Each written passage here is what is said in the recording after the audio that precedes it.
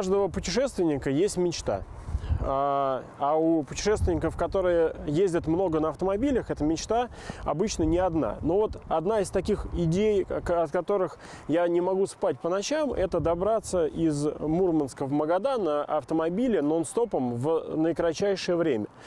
От идеи до реализации прошло достаточно много времени, но вот сейчас мы наконец готовы стартовать, готовы попробовать поставить какой-либо рекорд. Возможно, он будет первый в мире, возможно, не первый, но а, это будет как минимум личный рекорд. Поэтому на вот этом прекрасном автомобиле Land Cruiser Prado а, с совершенно стандартной комплектацией, но с небольшими красивыми наклеечками, мы отправимся в этот неблизкий путь длиной минимум в 12 тысяч километров. Наш экипаж состоит из двух человек, причем мой напарник Казбек, хозяин машины. Таким образом, раскрываем карты сразу. Инициатива и машина частные, никакой поддержки представительства из завода Toyota за нашими плечами нет. Что было, на то мы поехали. Спонсоры это либо друзья, либо дружеские компании, решившие поддержать собранный на скорую руку проект. Так что риск, хотя и благородное дело, но на кону стоит наша репутация и собственная повседневная машина одного из нас.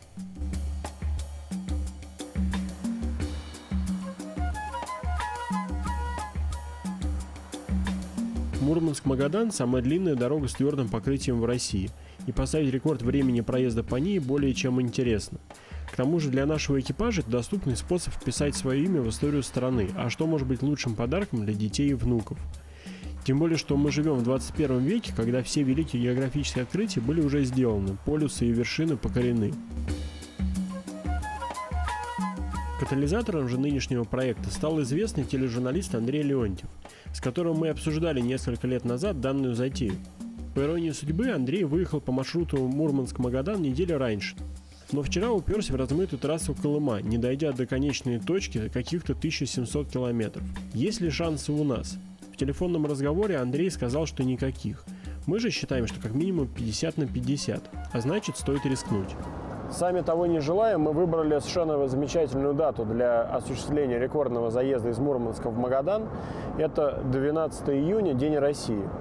А, именно в такой день приятно отправиться в путешествие через всю страну, через всю Россию. А, потому что это мало того, что символично, так это еще вдобавок а, начало белых ночей. И с точки зрения стратегии движения, это, сами понимаете, очень удобно. Фары практически не нужны. Трасса Колла, ведущая из Мурманска на юг, в последние годы заслуживает самых лестных оценок. Прошли те времена, когда она была вся усеяна ямами в пол колеса, а по обочинам то тут, то там встречались машины с пробитыми шинами и оторванными подвесками. Правда, подступы к ней по-прежнему остались в чудовищном состоянии, и многочисленные путешественники, тянущиеся со всей стороны на полуостров Рыбачий, чинят своих боливаров, еще не съехав с асфальта. Ремонт машины в полевых условиях для джиперов дело привычное, а подобные рекордсмены типа нас мимо проезжают нечасто, так что здоровый интерес к нашей нездоровой затее был обеспечен. Да и нам не вредили эпизодические остановки и общение с братьями по крови. Схватили тачки, объявили там всеобщий сбор бабла. вот. И нам сейчас там с разных городов там люди там по 500 рублей на карточку закидывают и вываливают. Это не шутка и не оговорка. Треть бюджета погони за мечтой мы собрали через мой блог в живом журнале, попросив друзей и читателей помочь кто чем может. Мир оказался не без добрых людей.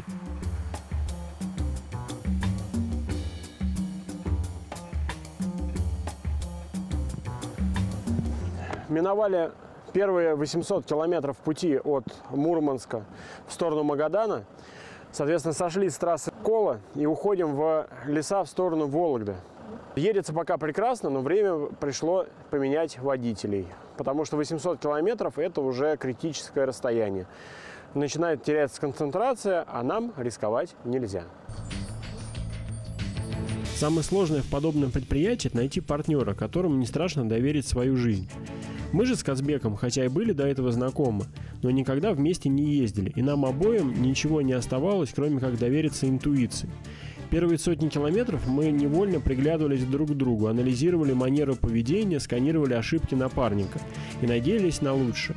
Парное катание всегда сложнее, чем одиночное, ведь здесь очень важно сразу сработаться и устоять от джигитовки, желания показать другому, какой то удалой водитель. Когда сам сидишь за рулем, как-то нормально едется, не страшно. А когда мы меняемся, сразу же срабатывает синдром водителя. И э, каждый обгон, каждый встречный КАМАЗ воспринимается как последний. Вот, я уже сразу прощаюсь с жизнью, сразу э, радуюсь то, что у меня практически закончены все земные дела и так далее. Потому что это просто э, даже не передать словами.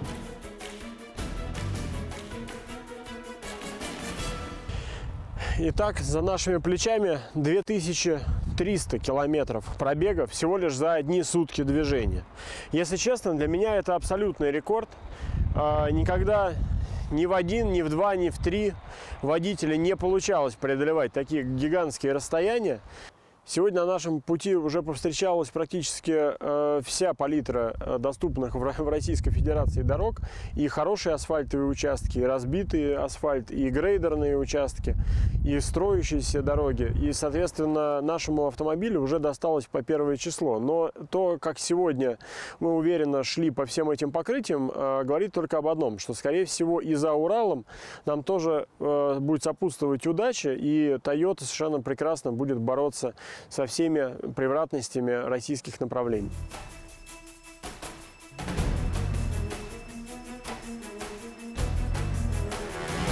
Очень интересно наблюдать за тем, как меняется природа и погода. Еще вчера э, в Мурманске температура была в районе 3 градусов тепла. И мы кутались во флиски, в куртке, в ветровке, во все, что попало. Сегодня же, спустя буквально сутки, на солнышке, по крайней мере, явно теплее 20 градусов. И есть ощущение того, что мы едем на юг, хотя мы едем на восток.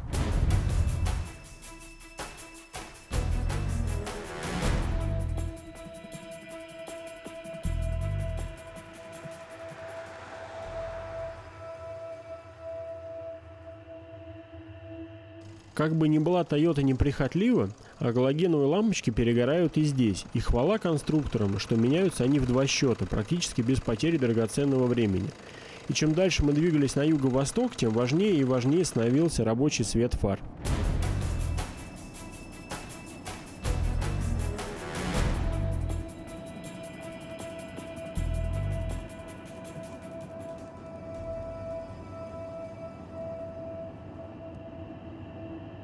Используя все возможные каналы и знакомств, мы поочередно наводили справки о состоянии трассы Колыма. И новости приходили одна грустнее другой. Масло в огонь подливали и знакомые, которые звонили и писали нам о том, что в Якутии паводок, стихийное бедствие, и вообще недоумевали, зачем мы летим навстречу неминуемому фиаско, да еще за собственный счет. Тем временем мы уже утюжили дороги Западной Сибири, и отступать было некуда. Интуиция, шестое чувство, провидение, как вы не назовите это явление, но что-то нам подсказывало, что все будет хорошо.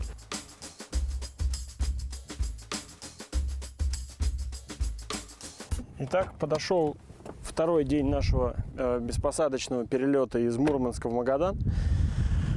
Не могу сказать, что это дается нам легко, но тем не менее на второй день мы практически даже побили свой рекорд первого дня и прошли 2330 э, километров. Согласитесь, это просто какая-то фантастическая цифра. Если честно, если бы мне кто-нибудь раньше сказал, что так возможно, я бы не поверил. Но на самом деле э, секрет даже не в максимальной скорости. Сами понимаете, э, Toyota Prado не самая скоростная машина в мире. Вот. Секрет исключительно в стабильности движения, потому что мы в два водителя меняемся как бы где-то каждые 600 километров, каждую заправку. А, и по сути, кроме как для вот этих, скажем так, технических нужд, больше никаких остановок не совершаем. Когда вы едете, скажем, на Черное море в один присест, то знаете, что вам нужно поднапрячься, но достигнув цели, вы точно отоспитесь. В нашем же случае реальность совершенно иная. Сев в машину в Мурманске, мы сами себя заперли в железной коробчонке и лишили любой возможности нормально отдыхать. Сон на заднем сиденье – это даже не сон, а беспамятство, в которое впадаешь от переутомления. Хочется вытянуться, хочется под одеяло и чтобы не трясли. Но все это будет через 8 тысяч километров, то есть не просто не скоро, а катастрофически не скоро.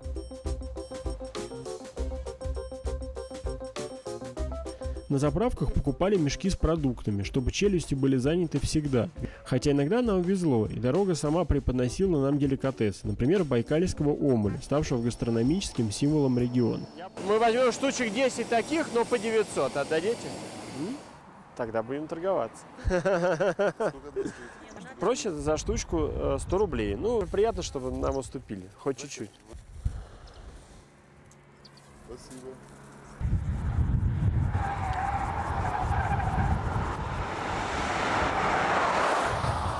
Еще неделю бы назад я бы никогда бы не поверил, если мне кто-то сказал, что доехал от Мурманска до Байкала за 2 дня и 22 часа. Но мы сделали это. Мне кажется, что этот подвиг достойный книги рекордов Гиннесса, книги рекордов России и так далее, но нас туда все равно никогда не поместят, потому что, говорят, это противозаконно.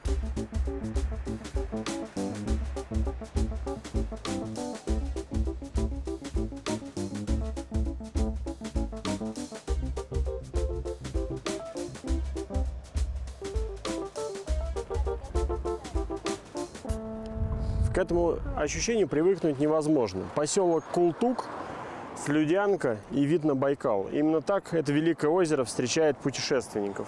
Я этот вид вижу уже, наверное, раз десятый, но каждый раз в итоге выхожу с фотоаппаратом, потому что, потому что это божественно. Казбек впервые во время нашего марафона попал на Байкал. И было очень интересно наблюдать, какое первое впечатление производит это великое озеро на человека, много лет мечтавшего его увидеть. Итог предсказуем. Вирус Байкала проник в кровь и тут же распространился по всему организму. Так это было и со мной несколько лет назад.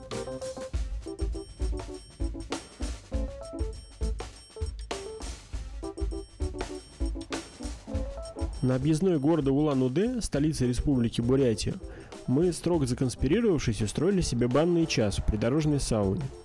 Туда же были доставлены бурятские позы, местное блюдо, напоминающее манты. И впервые за трое суток мы поели хоть что-то горячее, да еще за столом. Наверняка вы обратили внимание, что я обмолвился конспирации.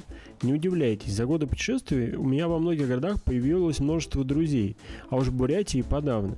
Если бы произошла утечка информации, что мы притормозили хотя бы на 5 минут, часом отдыха мы бы уже никак не отделались, попали бы в сети восточного гостеприимства. А вот и Чита. Кто бы мог поверить, как говорится. Это, видимо, уже становится присказкой нашей поездки, вот эта фраза «а кто бы мог поверить?». А, мы даже не выходили в, во вчерашний эфир по итогам третьего дня путешествия, потому что настолько увлеклись ездой, что не было даже возможности остановиться. Все думали, вот сейчас остановимся, сейчас остановимся, и все равно лупили дальше. вот, хотя уже проехали и Иркутск, и Улан-Удэ, и вот, соответственно, сейчас Чита. Еще тысячу километров, и мы будем вообще уходить на север, а, а там уже рукой подай до Якутска, и, в принципе, уже, наверное, скоро будет и финиш. Ну, в общем, экватор уже позади, с чем можно нас и поздравить.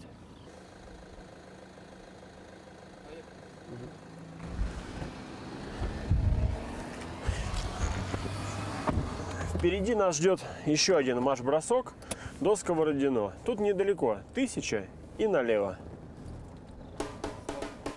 Toyota переносит заданный темп стоически, никаких неисправностей и сбоев. Эдакий локомотив, рожденный для долгой и рутинной работы. Именно в данном формате проявляются лучшие черты любого Land Cruiser. Не максимальная скорость, не управляемость, не рафинированность настроек шасси, а именно стабильность поведения.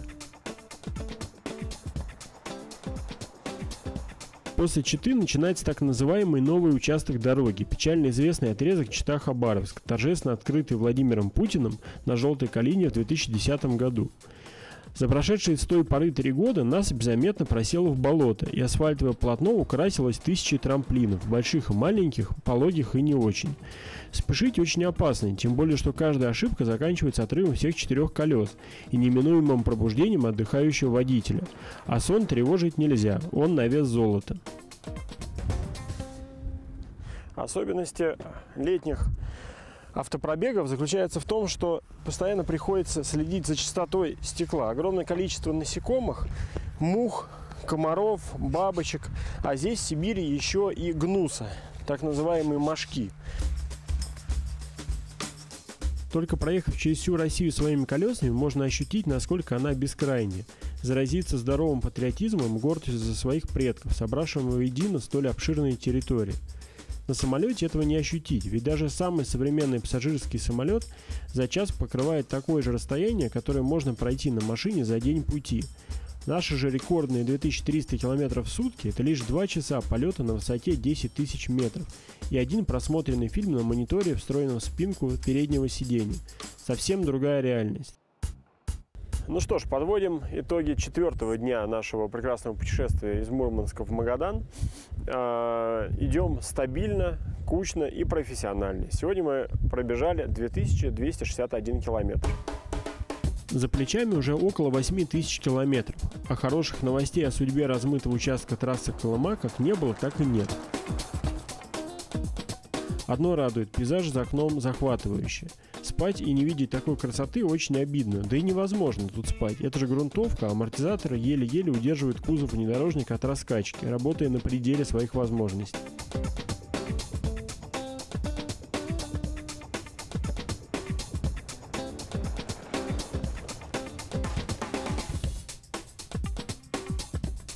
Интересно, что первое сдастся, машина или человек. Чувствуем себя как зомби, организмы вышли на автопилот. Но нет худа без добра. Каждый день по расписанию один восход и один закат. Благо погода стоит хорошая. За путь из Мурманска мы уже увидели их больше, чем за год жизни в городе. Только ради этого уже стоило бросить все и отправиться в путь на восток. Все-таки не зря среднюю полосу назвали средней. Все самое красивое в России расположено за Уралом, и чем восточнее, тем красивее. Не побывать же в своей жизни в Сибири в эру приличных дорог и хороших автомобилей почти в каждой семье просто неприлично.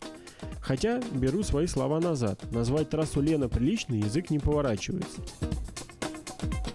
Да, есть хорошие ходовые участки и даже небольшие островки асфальта, но в целом это убитый большегрузами грейдер, где легковой трафик носит второстепенный характер. Для Якутии и Магаданской области и даже Чукотки это единственная дорога жизни, по которой круглый год тянут все-все-все, от продуктов и одежды до стройматериалов. Железную дорогу до Якутска пока не дотянули.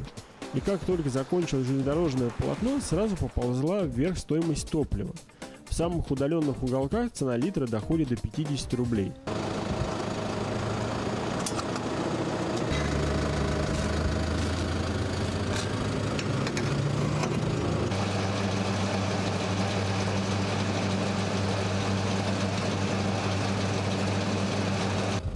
Начиная с Читы нам встречаются заправки уже совсем не европейского типа, но дизель вроде бы неплохой.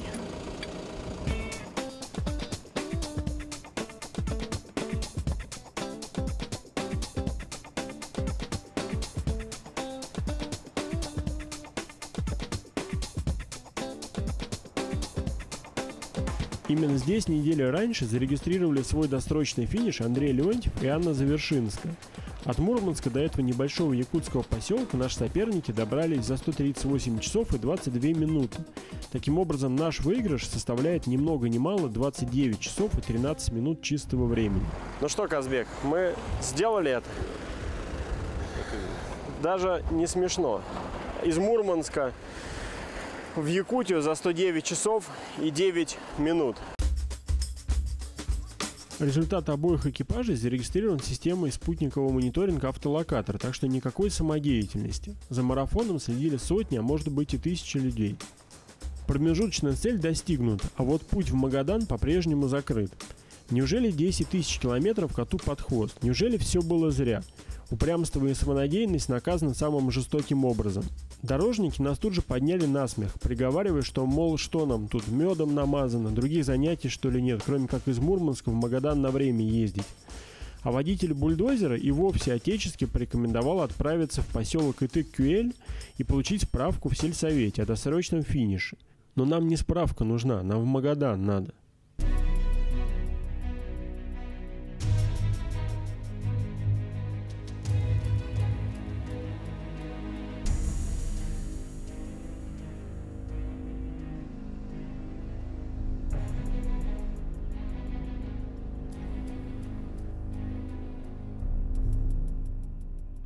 Трасса Колыма, остановившая неделю назад рекордный забег Андрея Леонтьева, вносит э, коррективы и в наше движение. 8 часов мы простояли на ремонте дамбы.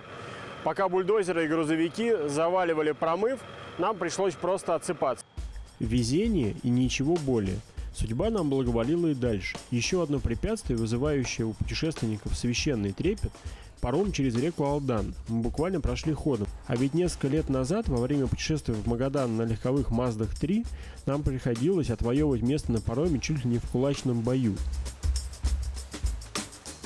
Колыма – настоящий рай для комаров и всяческих мух, му, мушек и прочего гнуса. А, невозможно не то, что стоять, не, не взмахивая руками, но даже снимать видео практически невозможно.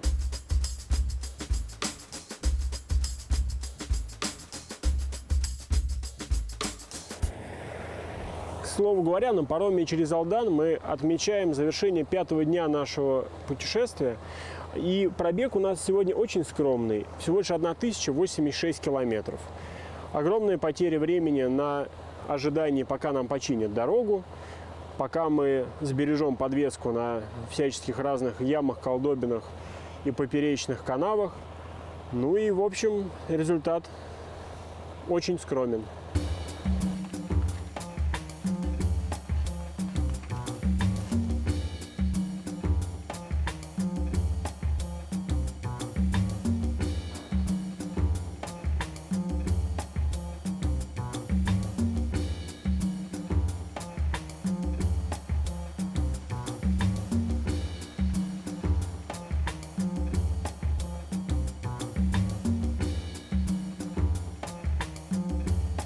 Теперь же впереди финишная прямая, 1700 километров Колымского тракта, славящегося своим коварством.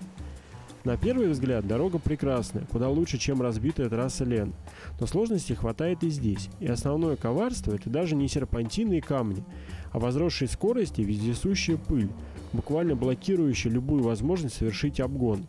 Опережать идущий на скорости под сотню многотонный самосвал в белой мгле – это русская рулетка. Вездесущая пыль забивает воздушные и салонные фильтры за несколько сотен километров, и дизельный двигатель Прада, и без того не богатый на лошадей, заметно теряет в мощности, и ничего не остается, как останавливаться и выбивать пыли старого фильтра, либо ставить новый, благо у нас с собой есть запас. Утомленный мозг уже не так быстро реагирует на дорожные сюрпризы, и вся нагрузка за водительские ошибки ложится на подвеску Toyota. Жалеем ее, хвалим, понимаем, что другой автомобиль на месте нашего Ланкруза наверняка давно бы отдал концы и молимся, чтобы запаса прочности хватило до Магадана, долгожданного, вожделенного, сказочного Магадана.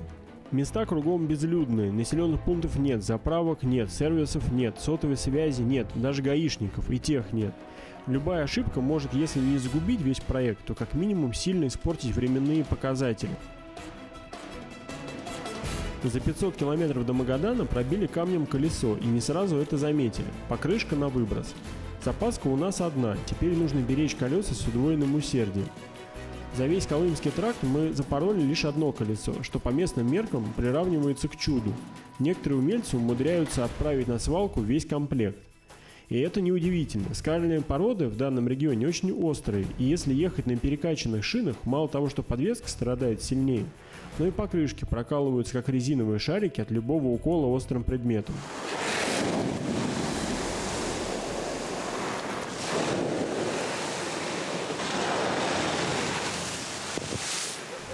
Уже на подъезде к заветной цели через дорогу словно кошки принялись бегать медведи.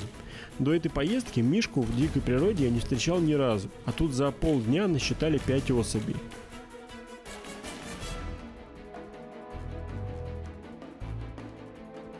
И вот гул грейдера сменился тихим шелестом покрышек по асфальту. В салоне воцарилась непривычная тишина, машину перестала трясти и подбрасывать. Наступил неожиданный и столь долгожданный штиль. Въезжаем в город Магадан, окунаемся в городской трафик и дивимся светофором. Наконец-то, приехали.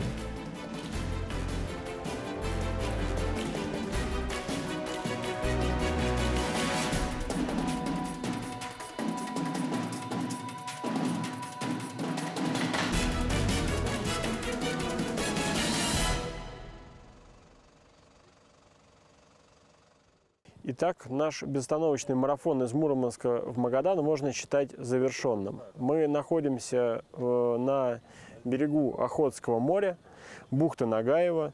Прошли мы 11 737 километров и затратили на это все 5 дней, 20 часов и 6 минут. По-моему, отличный результат.